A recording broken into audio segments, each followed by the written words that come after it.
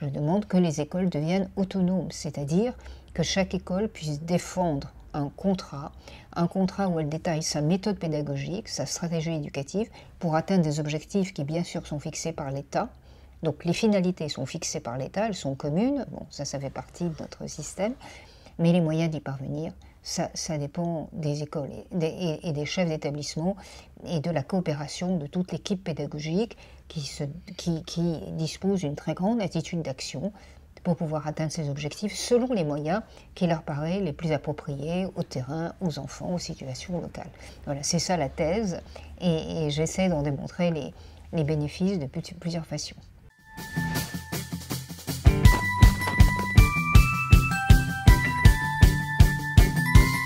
Bienvenue sur la chaîne YouTube de Liberté, le média qui infuse la liberté. Nous vous proposons un entretien hebdomadaire avec une personnalité qui s'intéresse, de près ou de loin, à la liberté. Bonjour, Monique Contos-Perber. Bonjour. On vous reçoit aujourd'hui pour parler d'éducation et d'organisation du système scolaire. Vous êtes philosophe, directrice de recherche au CNRS. Vous avez dirigé l'école normale supérieure, ainsi que créé et présidé Paris Sciences et Lettres. Dans un rapport que vous avez écrit, ainsi qu'un livre, où vous nous dites qu'il est nécessaire de libérer l'école. Est-ce que vous pouvez nous expliquer ce que ça signifie et pourquoi c'est nécessaire? Libérer l'école, l'expression bienvenue, puisque c'était le titre d'un ouvrage qu'Alain avait publié en 1984 et qui était la, première, le premier plaidoyer pour euh, l'autonomie scolaire. Alors évidemment, je ne partage pas la totalité des thèses que défendait Alain Matin, mais c'est une bonne occasion de rendre hommage à ce livre tout de même.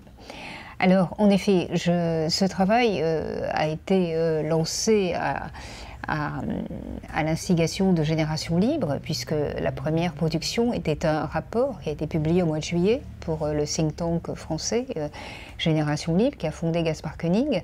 Et ensuite, comme tous les, résultats des recherches que j'avais faites ne pouvaient pas être inclus dans le rapport, j'en ai fait un livre. Donc la thèse qui est défendue est, au fond assez simple.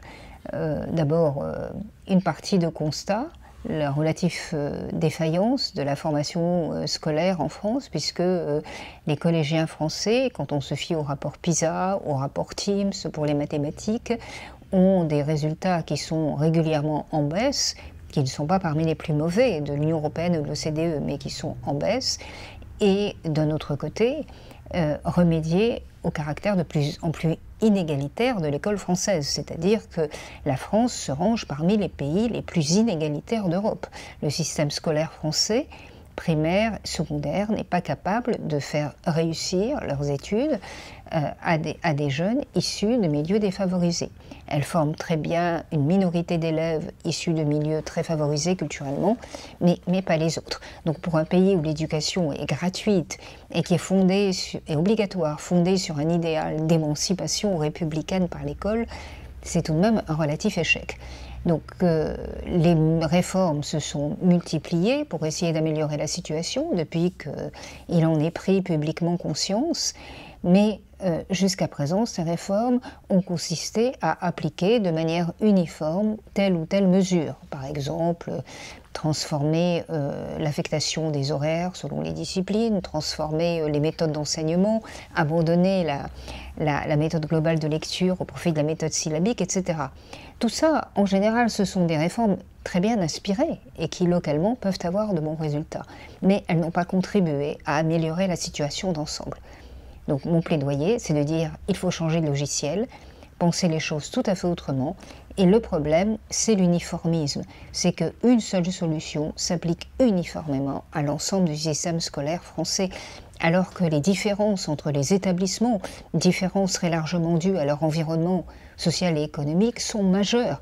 Entre une école du 6e arrondissement, dans un des quartiers les plus privilégiés de Paris, et, une école de la banlieue de Lille ou de la banlieue euh, de, Tulle, par exemple, il n'y a aucun rapport. les, élèves sont, sont, différents, les élèves viennent d'autres origines, ont d'autres types de difficultés ou d'autres types de facilités. En conséquence, euh, au vu de, euh, euh, les expériences étrangères qui ont été menées et qui, pour certaines, ont contribué à, améliorer le système scolaire.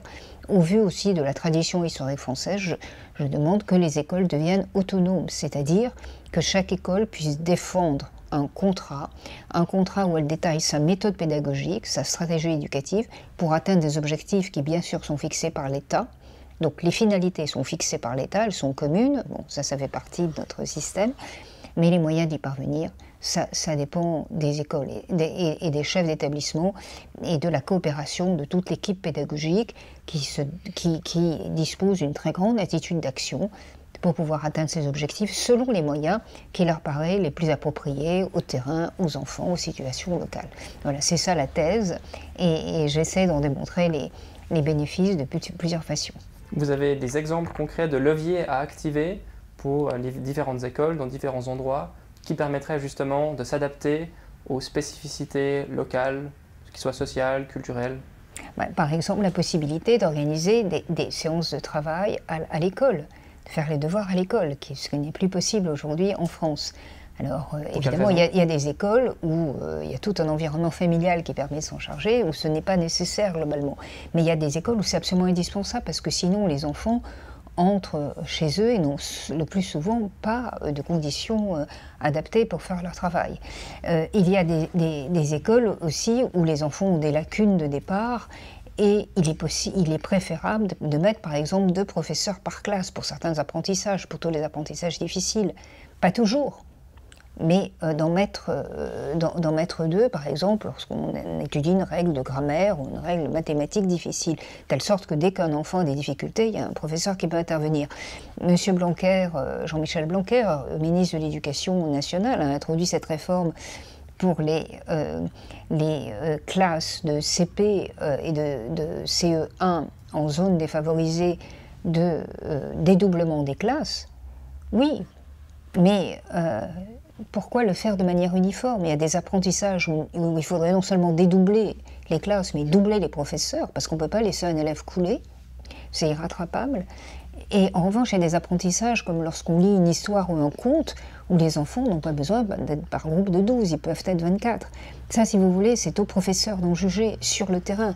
Il y a des écoles où c'est vraiment difficile de, faire en sorte que l'école reste en dehors des pressions de la société. Et dans ce cas-là, le, proviseur peut décider avec ses collègues qu'il est justifié d'exiger le port de l'uniforme, la même tenue pour tous. Il y a des écoles rurales, par exemple, ou des écoles dans des quartiers très privilégiés, où ça ne ces questions ne se posent pas. Euh, il y a des écoles où il peut être intéressant, dans des petits groupes, de faire travailler, que les élèves plus âgés fassent travailler les plus petits un peu dans les méthodes qui sont inspirées de Montessori, puis il y a des contextes où ce n'est pas nécessaire. Donc, si vous voulez, c'est la particularité du, terrain et qui doit être évidemment documentée. Il faut que le choix des méthodes pédagogiques soit justifié en fonction des caractéristiques du terrain. D'ailleurs, dans les livres, je propose même que des chercheurs soient mis à disposition pour faire une étude sociologique telle et aider les enseignants à adapter leur stratégie au, euh, au contexte. Bref. Tout cela vise à, si vous voulez, un empowerment en quelque sorte des équipes professorales, des institutions, des établissements, parce que ce sont les mieux à même de juger la, la, stratégie qui, maximise les chances de réussite de, de leurs élèves.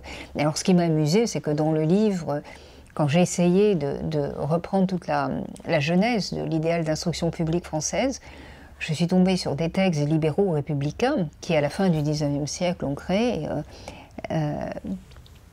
l'instruction laïque euh, obligatoire, et qui tous plaidaient pour donner la plus grande liberté euh, aux professeurs, disons enseignants, euh, pratiquez l'initiative libérale, n'hésitez pas à modifier le nombre d'heures euh, consacrées à, chaque matière en fonction du niveau de, vos élèves, prenez des initiatives, les contextes sont différents, euh, donc n'hésitez pas à, proposer des enseignements différents. Alors si on disait ça à la fin du 19e siècle, c'est a fortiori justifié aujourd'hui. Tout ça pour démontrer que l'autonomie, elle est au cœur, au fond, du système républicain que nous vantons tant en France. L'uniformisme serait plutôt une tradition ou un héritage napoléonien, mais pas vraiment républicain. Cette liberté de l'école dont vous parlez, on la retrouve au niveau international dans d'autres pays, comme la Suède, les États-Unis, l'Angleterre. En tout cas, ce sont des réformes d'envergure qui ont été menées dans ces trois pays mmh. sous le signe de la libéralisation des institutions scolaires. Est-ce que vous pouvez nous en parler, nous dire comment Très brièvement, alors la Suède, qui était le système le plus étatisé, enfin pas étatisé, mais le plus euh, collectivisé, si je puis dire, euh, d'Europe, il a été étatisé jusque dans les années 80 et puis ensuite municipalisé pendant une dizaine d'années, mais enfin on est quand même dans, dans, du ressort de la puissance publique. Euh, a été, lorsque les libéraux sont arrivés au pouvoir, les partis bourgeois sont arrivés au pouvoir, au début des années 90, euh, très fortement libéralisé, c'est-à-dire qu'on a créé des écoles libres publiques, puisque tout ce plaidoyer pour les écoles autonomes que je viens de faire, évidemment, concerne les écoles publiques, parce que les écoles privées, en France, il y en a à peu près 15%, parmi toutes les écoles, sont déjà des écoles autonomes, hein. ça concerne les écoles publiques. Donc de, faire de, de rendre possible ce statut d'école publique libre. Alors, école publique libre, ça veut dire qu'elles étaient totalement libres de leur méthode d'enseignement. Mais ce qu'a fait le gouvernement suédois, qui était quand même quelque chose qui allait nettement au-delà de ce que je recommande aujourd'hui, euh, parce que ça me paraît absolument pas praticable en France, c'est que non seulement la liberté de chaque école était très grande, mais que de, plus, euh, chaque école publique pouvait lancer un appel d'offres pour appeler des gestionnaires.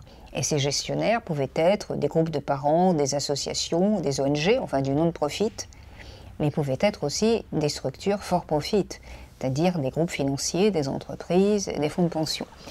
Donc euh, évidemment, euh, ce sont surtout ces derniers qui ont répondu aux appels d'offres. Euh, eh bien, en, en s'assurant de la gestion des écoles, l'État suédois, en remboursant à l'organisme gestionnaire le coût de la scolarité de chaque enfant. Donc plus on avait d'élèves, plus on était remboursé. C'est un peu le même système que, que l'on trouve en France pour les EHPAD et les hôpitaux qui sont euh, gérés par des structures euh, for profit.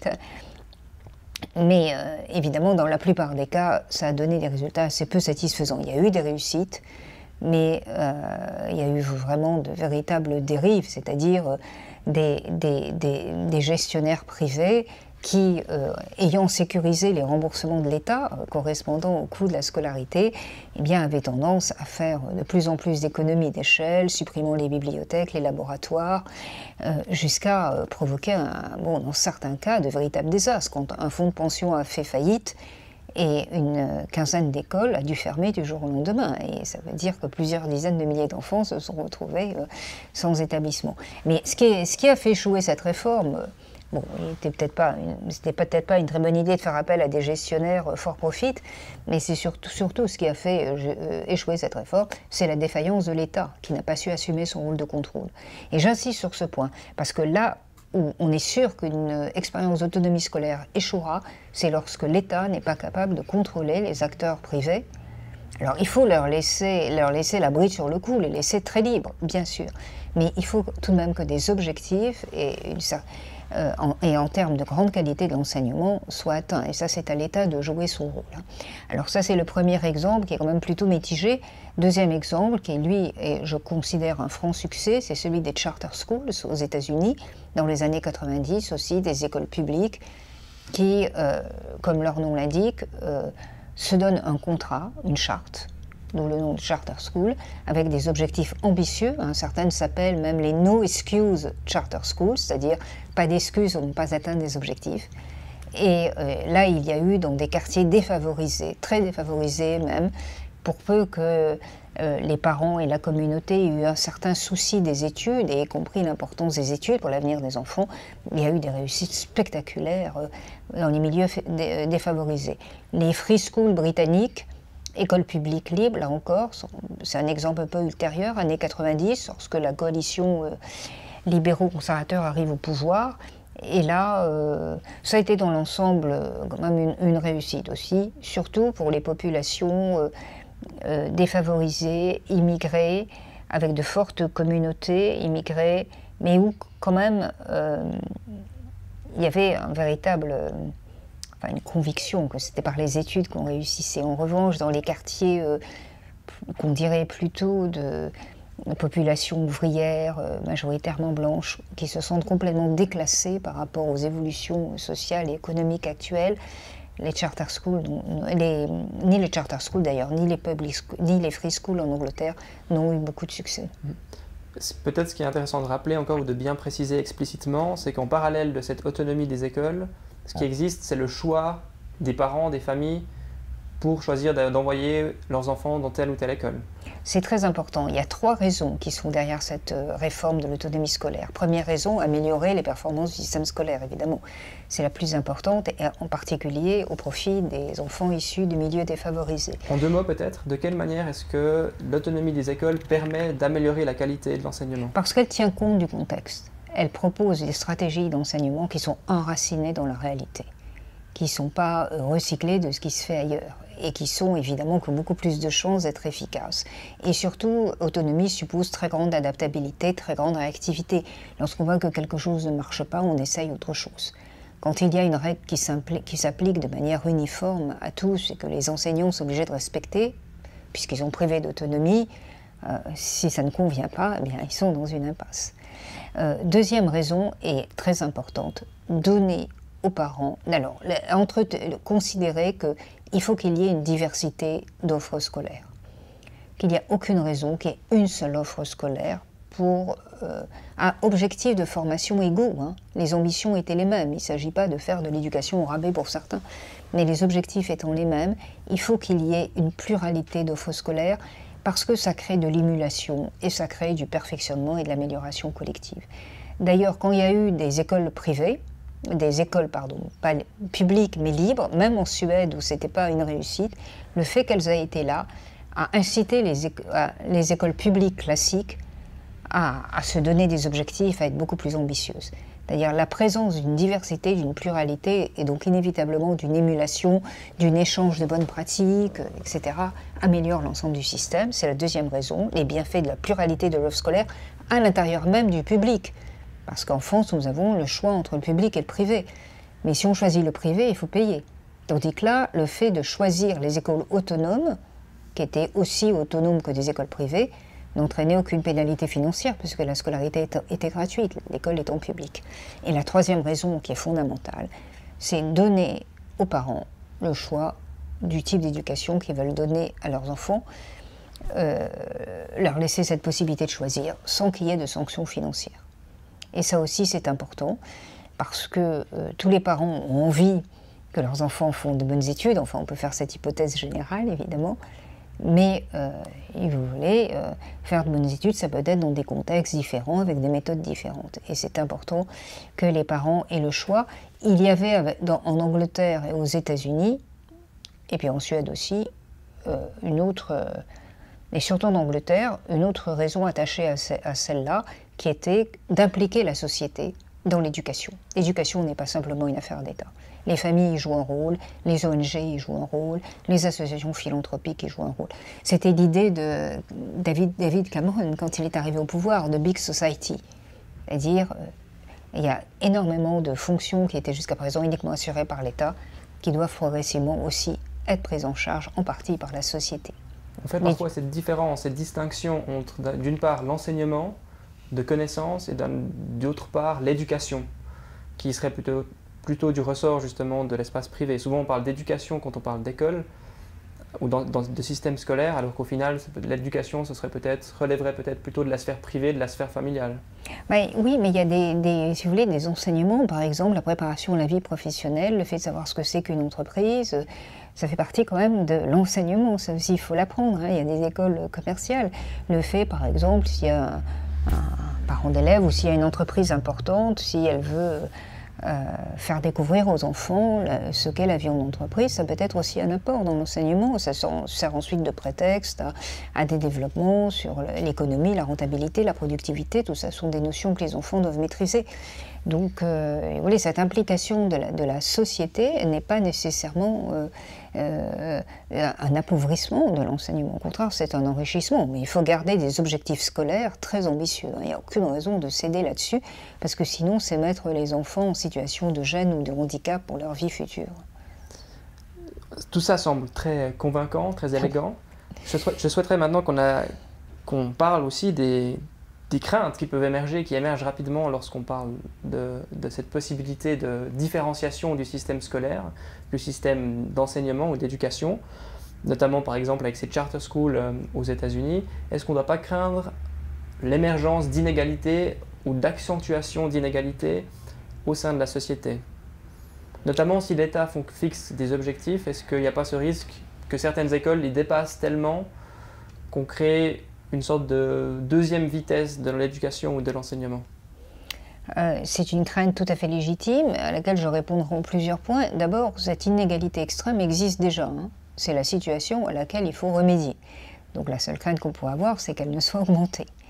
Or, tous les, exemples que nous avons vus ont montré que euh, des, enfants qui avaient aucune chance de réussite ont pu accéder à un très bon niveau avec des charter schools. Dans les charter schools, tous les enfants vont au collège, tous sont admis au collège, même dans des quartiers les plus défavorisés. Euh, collège aux États-Unis, c'est les trois premières années euh, de l'enseignement, trois ou quatre premières années de l'enseignement supérieur. Donc, euh, ils, ont vraiment une bonne formation pour ça. par ailleurs, vous voulez, évidemment, surtout en France, on est très attaché à l'idée que l'uniformisme de traitement est la meilleure garantie de l'égalité. Mais quand les situations de départ sont si différentes les unes des autres, ce qui est une belle exigence de façade devient un, un, non sequitur, parce que, si vous voulez, on applique les mêmes exigences à, des enfants qui, issus de milieux très différents ou avec des formations en terrain très différents, ne sont pas capables de les intérioriser de la même façon, sans qu'on puisse adapter le rythme auquel ils s'approprient ces, objectifs, on, va dire tout droit à l'échec. Donc euh, évidemment, en tant que, libéral et défendant une réforme de ce type, euh, il faut accepter l'idée que parfois la différenciation, pas quand elle est une différenciation imposée du haut en disant vous, vous, serez en bas de l'échelle, vous, vous serez au-dessus de l'échelle, mais une différenciation qui résulte en quelque sorte des styles différents mis en place pour atteindre les mêmes objectifs, peut être au contraire une véritable garantie d'égalité. Mais, ça, bon, c'est une question qui est, euh, au, cœur de cette réforme et qui, encore une fois, euh, ne doit pas être traitée de manière dogmatique. Il, faut, dans mon, livre, j'appelle à une expérimentation, qu'on en crée des écoles comme ça, qu'on voit comment ça marche, on dispose de, de, de, 30 ans de recul pour savoir ce qui a fait échouer certaines réformes dans les pays étrangers, ce qui les a fait réussir, donc on est quand même beaucoup plus armé pour éviter les écueils, il faut que l'État joue son rôle d'accompagnateur et de contrôle. Pas, pas son rôle tatillon, de prescripteur de méthodes ou de stratégies éducatives dans un, pour des contextes dont il ignore tout, mais son rôle de contrôle, c'est absolument essentiel. Mais la question que vous posez est une vraie question et on ne peut pas l'écarter euh, comme cela. Mais euh, n'oublions pas qu'il s'agit de remédier à une situation qui est très très insatisfaisante. Une deuxième crainte qui pourrait être liée à cette autonomie émergente des, écoles, ce serait probablement l'endoctrinement religieux ou idéologique. On pourrait imaginer des écoles avec d'un enseignement religieux qui soit, qu'il soit juif, euh, chrétien ou, euh, ou, euh, ou, islamique, ou alors qu'il soit, qu'il soit lié à des, à des mouvances idéologiques, que ce soit par exemple le capitalisme ou le communisme. Comment est-ce que là encore on peut remédier à ça? Euh, alors franchement, euh, on, le remédie simplement en appliquant les règlements qui, sont ceux de l'école publique française, c'est-à-dire c'est une école laïque. Vous savez, nous avons une loi depuis 2004 qui interdit le, signe, le port de signes religieux euh, à l'école. il n'y a aucun, aucune trace de quelque religion que ce soit dans les établissements publics. Les programmes ne portent pas la marque. Euh, de quelque religion que ce soit, il n'y a aucune raison que cela change. Ce n'est pas parce que les, parents, les, enseignants euh, ont l'autonomie de définir leur méthode pédagogique que savoir avoir, euh, ça va permettre le prosélytisme ou une sorte de laxisme dans les comportements. au contraire. et de plus, cette charte ou ce contrat, qui est quand même le socle de l'autonomie, devra comprendre euh, un engagement très explicite à la laïcité. D'ailleurs, je souhaiterais que ce contrat soit porté à la connaissance des élèves, qu'il soit rendu public même dans la communauté, euh, dans l'environnement, euh, qu'il soit même signé par les parents, signé par les élèves comme un engagement commun qui responsabilise tout le monde. Et il faut que la question religieuse et la question de la neutralité, on donne aux enfants les moyens de se faire, d'acquérir un esprit critique, et d'acquérir une personnalité intellectuelle. Donc il faut leur montrer plusieurs options possibles en politique, même en morale, en religion. On a toujours enseigné l'histoire des religions à l'école publique, laïque, mais on ne fait de propagande pour aucune d'entre elles. Et ça, c'est vraiment quelque chose qui est à l'origine de l'école publique française et je ne vois pas en quoi il y aurait, euh, il y aurait le, moindre problème de ce point de vue-là. Il y a des écoles privées très autonomes en France qui sont des écoles totalement laïques. La majorité des écoles privées sont des écoles religieuses, mais il y en a aussi, ce sont les plus prestigieuses, qui sont totalement laïques. On n'a jamais assisté à quelque dérive que ce soit euh, de ce type. Merci Monique Cantos-Perber pour, euh, pour vos réponses. On recommande la lecture de votre rapport euh, pour un contrat d'établissement scolaire avec le, think tank Génération Libre et puis votre livre Une école qui peut mieux faire. Merci beaucoup. Merci à vous. Pour ne manquer aucun de nos contenus, abonnez-vous et activez la cloche. Et pour faire infuser la liberté, n'hésitez pas à partager nos contenus.